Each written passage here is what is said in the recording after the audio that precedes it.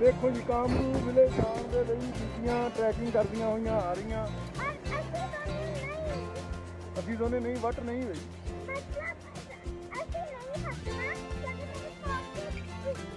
ਅੱਛਾ।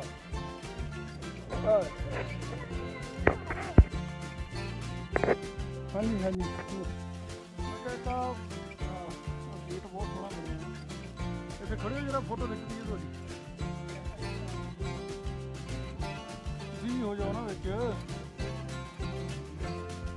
ਉਹ ਆ ਜਾਓ ਯਾਰ।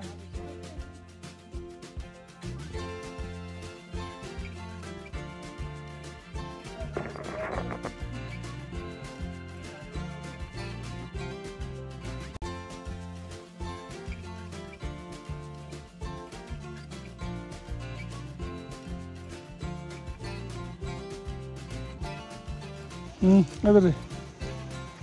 ਐਨਕ ਉੱਤੇ ਨੂੰ ਕਰ ਦੇ ਜੀ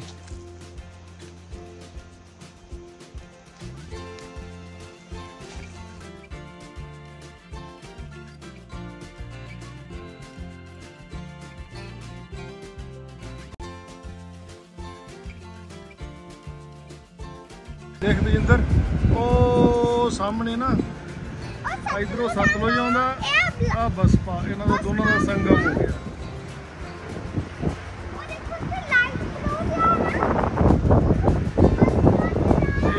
ਜਿਹੜਾ ਲੱਗਾ ਪਾਵਰ ਪਲਾਂਟ